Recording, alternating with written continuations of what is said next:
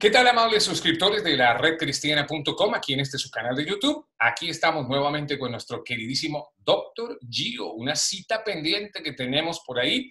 Quienes vieron el capítulo anterior no se pueden perder este. Y quienes no lo han visto, la sugerencia está en que ahí se metan al canal de la Red Cristiana, busquen Doctor Gio y empiecen a encontrar la secuencia, porque esto es como una novela, pero diferente, ¿no? La novela es ciencia ficción. Esto hace parte de la vida real. Y hablamos de nada más y de nada menos que de matrimonios, algo que maneja muy bien, un tema que maneja muy bien nuestro querido doctor Gio, Giovanni Castro, que está ahí con nosotros. El tema de hoy precisamente tiene que ver con matrimonios por ensamble. Así lo titula él y desde ya me llamó la atención. ¿Cómo así que matrimonios por ensamble? ¿De qué se trata eso, querido doctor Gio? Bienvenido. Hola Iván, buenas noches. ¿Cómo están a toda la audiencia de la red cristiana? Eh, saludándolos en esta noche. Es uno de los temas que más me apasiona.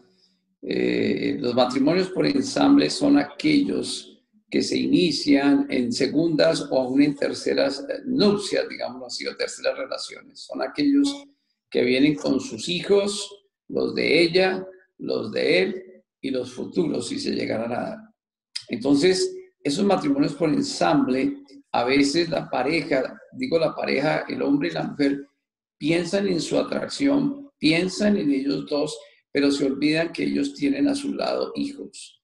Se olvida que tienen a su lado otra serie de responsabilidades que tienen que ensamblar y que tienen que llegar allá. Normalmente siempre les digo, especialmente a estas parejas, no se salten los pasos de un noviazgo como así de un noviazgo. Si nosotros venimos de segundas relaciones, nosotros ya sabemos cómo es esto. Es precisamente por eso es que han fallado. Las personas no se preparan para una relación y a veces tratan de, aprender. Eh, eh, tengo casos de, de, personas que ya van en su tercera o su cuarta relación y entonces ya no son ensambles, sino reensamblados más reensamblados. Entonces, ellos piensan únicamente en ellos en su inicio de su relación como pareja, obviamente como un hombre y una mujer, en su atracción mutua, en esa fase de enamoramiento, en esa fase donde eh, ni siquiera se pueden llamar de novios, ¿cierto? Y si son novios, la mejor definición de novio es cuando tú separas esas dos palabras, ¿cierto? Colocas no vio, no ven, no entienden. Esa es la mejor definición de novio. Entonces, cuando ellos empiezan en esa, en esa eh, como cualquier dos personas, conozco parejas de 46 y 40 años, donde literalmente cuando llegan a, hablar conmigo lo siento peor que teenagers. Están volviendo, están con sus adrenalinas, con sus hormonas al, al mil por ciento, se están volviendo a sentir enamorados, pero se les olvida un pequeño detalle. Hay dos hijos en el lado de ella, hay tres hijos en el lado de él. Y yo les digo, ustedes han pensado en algún momento que ustedes el día que decidan, si llegaran a formar alguna relación, Ustedes tienen que saber si están formando esa relación sobre la arena o la están construyendo sobre una roca. Porque si es sobre la arena, el día que llegue una tormenta a esta relación, seguramente eh, tú sabes lo que pasa cuando llega una tormenta y, se lleva la arena. Pero si está construida sobre la roca, va a ser muy diferente. Y lo más que los pongo a reflexionar es, recuerda una cosa, hoy están ustedes dos en un plan de noviazgo, mañana ustedes deciden casarse o colocarle algún, algún nombre a la relación. Pero en el momento que usted lo hace, ya usted no tiene dos hijos, ahora tiene cinco hijos. Ya hay que agregarle los del otro. Claro. Eh, eh, y obviamente que no, no me voy a meter todavía en este tema, pero me imagino que lo vas a tocar de alguna manera, porque a eso hay que agregarle también, entre comillas, los ex y las ex, ¿o no? Total, ahí esas familias tienen dobles todo, ¿no? Entonces ahora empiezan dobles suegros, dobles suegras, dobles tíos, dobles cuñados, eh, todo doble, porque ustedes tienen que empezar a, tienen que volver a empezar y en algún momento se van a encontrar con eso. Para los niños especialmente es un tema muy fuerte. Una de las recomendaciones mías es, mire, si usted está en un proceso un matrimonio por ensamble, si usted, ve, si usted ve que la otra, que su cónyuge no es capaz de amar y aceptar a sus hijos, por favor, ni siquiera intente caminar en esa relación. No lo haga. No lo haga porque esa relación no va a ir para ninguna parte. Doctor, no dime. Regálanos tres síntomas que se te vengan aquí a la cabeza, como muy de rapidez, digámoslo así, eh, síntomas inequívocos de que esa pareja, sea hombre o mujer, no sé, eh, no quiere a los hijos del otro? Tres, tres como detallitos, detalles, digámoslo así. Me atrevo a, ir por ese lado. Ok, tolerancia. No los toleras. Llegas a casa y les ves errores. Estos niños son unos malcriados, no es como los que yo tengo en casa. Eh, no los toleras. Aparte de eso, eh, no, hay, no puedes tener una autoridad sobre esos niños porque en una relación que no inicia bien, recuerda una cosa, cuando tú estás en casa, tú pasas a hacer la cobertura sacerdotal o, o esa cobertura con la figura paterna como hombre. Pero si tú tratas de corregir a un hijo eh, de tu cónyuge y ella te dice, no le hables hacia mis hijos, ¿cuál es la reacción tuya como hombre? Ella está colocando un límite, ¿cierto? Y ese límite va a hacer evidentemente que tú empieces a tener, ¿cómo voy a manejar esta situación si vamos a estar dentro de un mismo techo? Cuando ellos estén aquí, así sea un fin de semana, viernes, sábado, domingo, o esto es una anarquía o es una armonía, ¿qué prefieres tener en casa? Armonía. sí, los matrimonios por ensamble no piensan ese tipo de cosas. Ahora, cuando yo les digo que tienen que construir empiezo a hacer exactamente lo mismo que si fueran una pareja que fueran recién a, recién a casarse. ¿Qué quiero decir con esto? Todos aquellos que están dentro de una relación matrimonial y se han separado y desean casarse de nuevo, generalmente estas personas llegan con una aprensión a la relación.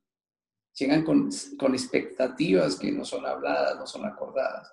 Y adicionalmente llegan con deudas emocionales. ¿Qué tan bien te fue en esa relación anterior o en esas dos relaciones? ¿Qué tanto te dejaron marcado? ¿Qué tan honesto eres tú para poder reiniciar una siguiente relación? Y tercero o segundo, muchas de estas parejas ni siquiera esperan el tiempo copiado para poder dar un duelo a lo que es perder una relación. Se saltan esos procesos de duelo. El duelo, Iván, hay que hacerlo en todos los procesos de la vida. Cuando tú te saltas el duelo dentro de un proceso de la pérdida de una relación, de la pérdida de un ser querido, de cualquier tipo de situación que tú tienes, ahí tú vas a tener una situación pendiente por resolver. ¿Quién es el que va a terminar pagando eso? El cónyuge que tú traes a tu vida. ¿Hay algún tiempo sugerido de duelo o eso definitivamente es muy, muy personal, muy independiente? ¿O en líneas mm. generales hay un tiempo sugerido de duelo? Sí, sí, mínimo, mínimo, mínimo se requiere por lo menos dos años, dos años y no menos de ese tiempo. ¿De duelo? O sea, ese duelo hay que hacerlo, sí, ese duelo hay que hacerlo y hay que procesarlo, ¿cierto? Yo, yo, te, yo, te, reacciono, yo te reacciono y estoy seguro que a nombre de muchos y con la experiencia que tú tienes como consejero y como pastor y todo esto, estoy seguro que estás acostumbrado a este tipo de reacción. Te dejo saber mi reacción y que sé que es la de muchos. Dos años, dos. Eso para uno que no maneja estas cosas ni nada, es una locura, es demasiado tiempo, porque muchos, como tú lo dices, hemos saltado más bien de una relación a otra con la cama caliente, para ser más exactos, la cama caliente todavía. Entonces, cuando a uno le dicen o le hablan, no, tienes que esperar unos dos años de duelo después de esa ruptura anterior, de esa relación anterior, te lo digo sinceramente, y sé que estás acostumbrado a este tipo de reacción. Eso es demasiado tiempo, doctor. Claro. ¿Por qué dos años? Es demasiado tiempo, porque es demasiado tiempo, porque definitivamente es el tiempo que se toma para que tú entiendas qué errores pudiste haber cometido dentro de la relación, qué tienes que sanar dentro de la relación para poder estar literalmente eh, listo para entrar a una siguiente relación. Y si no, la persona que, que trae esto a tu vida se convierte en una enfermera emocional tuya. Ese es el grave problema. Tú no sabes, ahora tú no sabes cómo viene la contraparte, cómo, viene. Entonces, es una tarea. Yo siempre les digo a las personas que empiezan a salir y que vienen de segundas relaciones, yo les digo, ¿ustedes saben cómo se llama? ¿Cuál es el nombre que tiene su relación? Y nos dicen, no, no, no tenemos ni idea por qué. Digo, que su relación es una relación por ensamble. Y apenas ellos empiezan a dimensionar la palabra ensamble, y apenas ellos empiezan a decir, sí, no me quiero volver a equivocar. ¿Qué tenemos que hacer? Definitivamente sí debemos trabajar. Entonces, esto se requiere mirarlo desde el punto de vista maduro. Algunas personas piensan que yo entro en la relación y ahora dejo de hacer esto y dejo de hacer esto que no me funciona. Pero muchas veces ese dejar de hacer sin transformar el ser no va a durar mucho tiempo, Iván. Porque el ser precede al hacer. ¿Sí me entiendes? Entonces hay personas que tratan de cambiar en su hacer. ¿Cuánto les dura? ¿Dos meses? ¿Tres meses? Pero la esencia de ellos, esa transformación que tiene que venir de adentro hacia afuera, ese sanar esas heridas de niños, ese sanar esas heridas de esa relación anterior, ese sanar de esa relación con mamá, con papá, eso de sanar eso, eso va a traer una mejor, eh, mejor resolución para tus conflictos y sobre todo para no cobrarle a la persona equivocada cosas que realmente no ha hecho. Y tercero, existen ya otras personas que tú estás trayendo y esos hijos empiezan a llamarte muchas veces papá o esas niñas empiezan a llamarte mamá y resulta que esa relación se terminó al año y medio o dos años nuevamente. Entonces, para esos hijos vuelven a perder esa figura paterna, vuelven a perder esa figura materna y ahí vuelve y se repite el ciclo. Y entonces, el próximo que aparezca, a ese también le pongo el nombre papá o a ese también le pongo el nombre mamá. Y muchos de los que nos están escuchando seguramente están en estas circunstancias. ¿Cuántos, cuántas, ¿Cuántas veces has tratado de colocarte, de traer a casa a una persona que tu hijo le ha dicho papá y ha durado seis o ocho o nueve meses y ha desaparecido? ¿Me ¿Entiendes? Sí, ¿cómo debemos, precisamente, mira que era mi, mi siguiente inquietud, mi siguiente pregunta, ¿cómo debemos preparar a esos muchachos, a esos hijos? Porque obviamente hablamos de las parejas, de los adultos, que bueno, ya estamos entendiendo de qué se trata todo esto, pero ¿y los hijos? ¿Quién prepara a los hijos y cómo prepararlos para esto? Para una nueva relación de ensamble. Ok. ¿Quién los preparan? Primero hay que preparar a los papás, a la pareja que se quiere meter en eso. Cuando ellos son conscientes de que están preparados, de que están sanos, ellos pueden empezar a trabajar con sus hijos. Pero yo no puedo tratar de que un enfermito emocional no va a generar sino más enfermitos, así sean pequeñitos, pero se van reproduciendo también en problemas emocionales para más adelante. Entonces, el, proceso de empezar a trabajar con los niños está empezar a trabajar en la pareja. Si la pareja es consciente, la pareja tiene dentro de todo este esquema, dentro de su ecuación, tiene a Dios metido y tal vez nunca lo ha tenido y hoy lo coloca dentro de su relación, esa es la ecuación más espectacular. Tú, tu esposa y en el centro de que sea Él quien empiece a sanar tantas cosas en tu vida y que seas tú una imagen real dentro del hogar, no tanto con las palabras, sino con el testimonio de cómo tratas a esta esposa, cómo te relacionas con ellos. Si eres una persona muy buena proveedora económica, pero también muy buen proveedor emocional. Hay padres que están físicamente en las casas, pero ausentes emocionalmente, así estén sentados en una silla al frente de un televisor con un control remoto en la mano.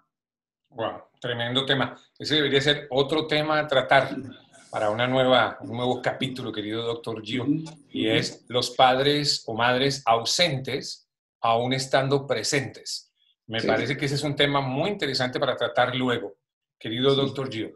Debo entender, y tratando de concluir un poco el tema, que hay mucho, mucha tela por cortar todavía, pero por cuestiones de tiempos aquí en este canal de YouTube de la Red Cristiana, trato de concluir que si es necesario, entonces, de acuerdo a lo que acabamos de escucharte, si es necesario un curso prematrimonial para esos novios primeros, esos de primera instancia, creo que con muchísima más razón para los de ensamble, doctor, ¿o no?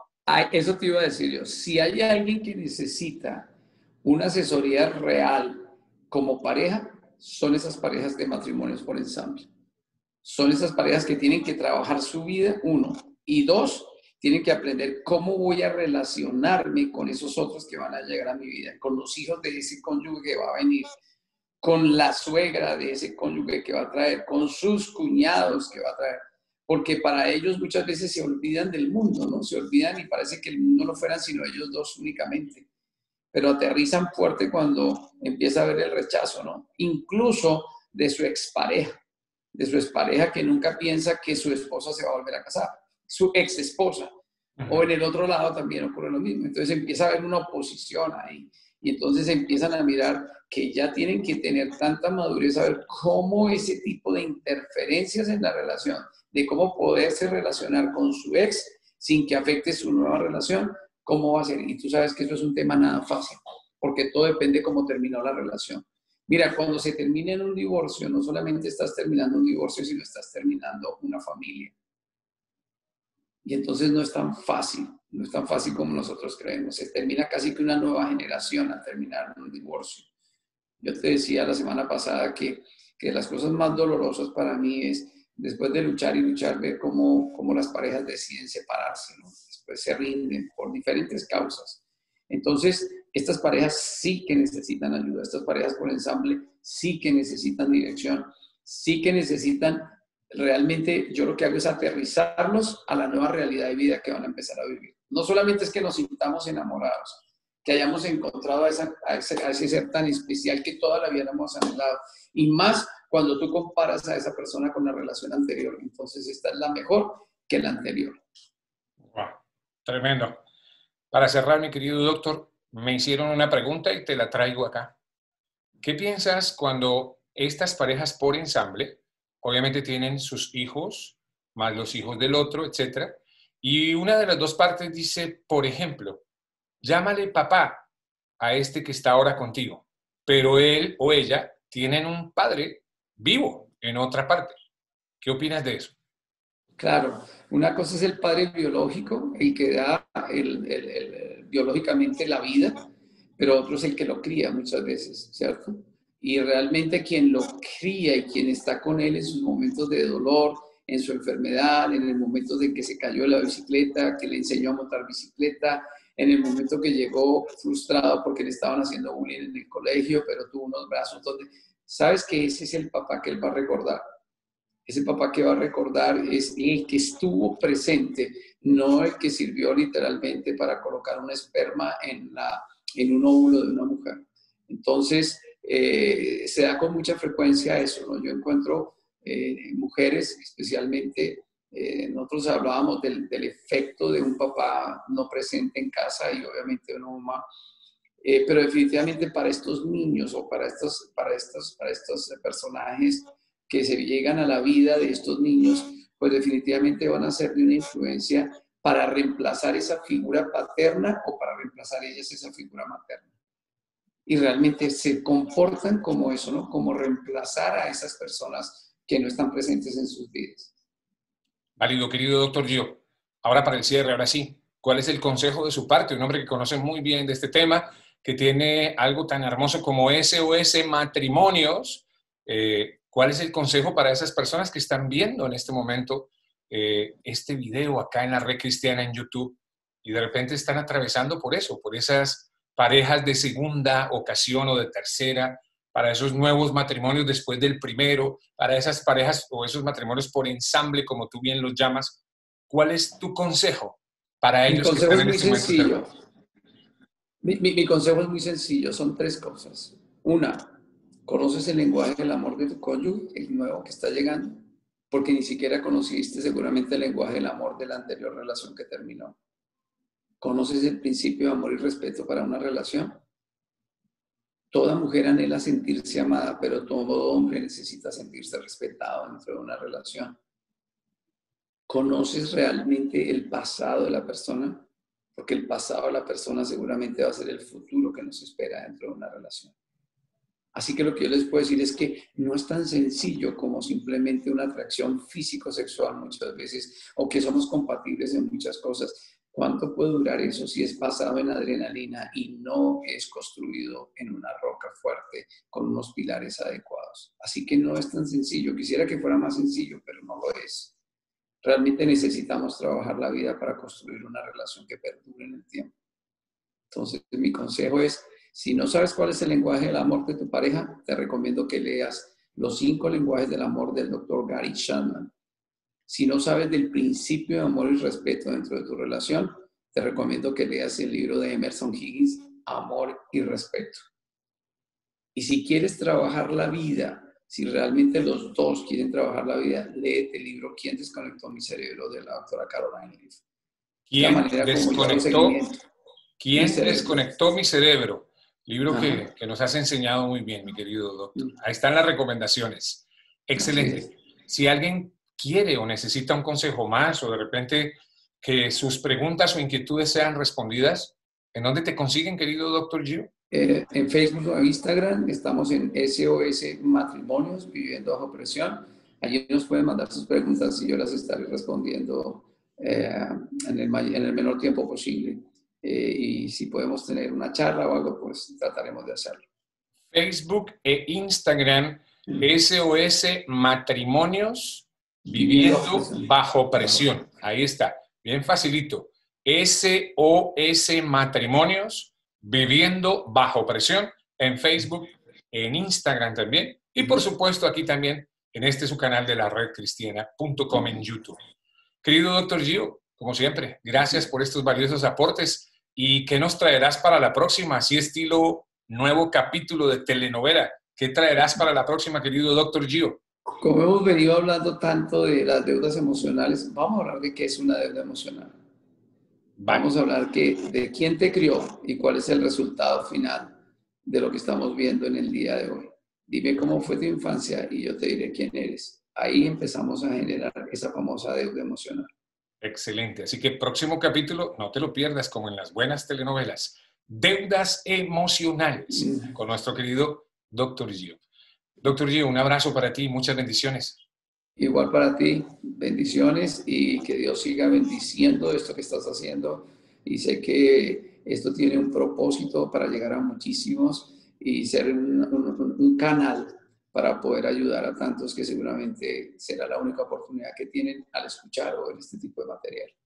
Amén, amén. Has dado en el punto porque oramos muchísimo, toda la familia de la red cristiana y gracias a todos los que se unen intercediendo en oración por la red cristiana, porque esto es un ministerio. La redcristiana.com es un ministerio que Dios ha puesto en nuestras manos simplemente para administrarlo, pero que tiene propósitos muy importantes. Uno de ellos es seguir alcanzando almas para Cristo y que cada contenido que subimos aquí en la redcristiana.com, en este canal de YouTube, sea de bendición para todos ustedes. Eso es uno de los tantos propósitos que tenemos en nuestro corazón. Y nos sentimos muy felices de gente tan linda como el Dr. Gio, que hace parte ya oficial, por supuesto, de la redcristiana.com. Así que, doctor, abrazo a la distancia, bendiciones y vamos para el próximo capítulo.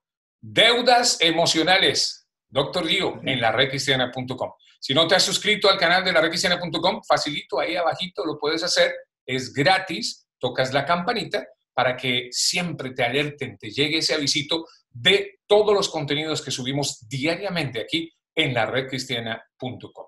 Muchas gracias por su tiempo, a todos ustedes. Bendiciones y permiso. Chao. Suscríbete gratis a nuestro canal de YouTube. Nos encuentras como laredcristiana.com. Subimos material permanentemente. Activa la campanita para mantenerte informado. laredcristiana.com en YouTube.